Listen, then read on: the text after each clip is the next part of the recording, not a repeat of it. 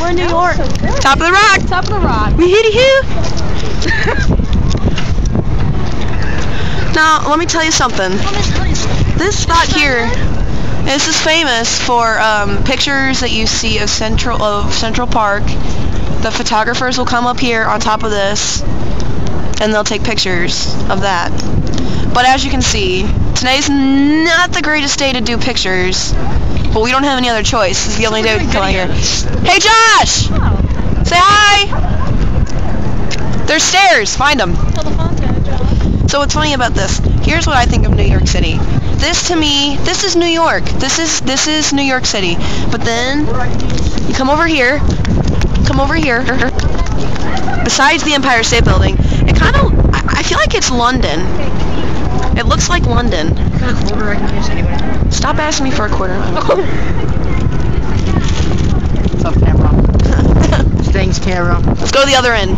Stank vision. The stank fish. Cam. This is the stank cam. Stank cam. Excuse me. Oh, do you feel that? It's warm right here. There's no wind blowing. Hey,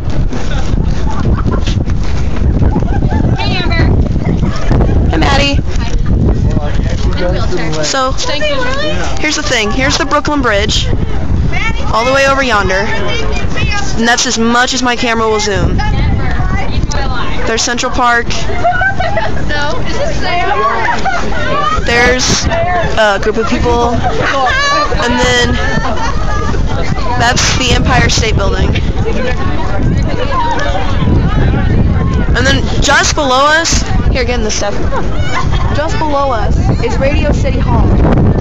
Radio City Music Hall.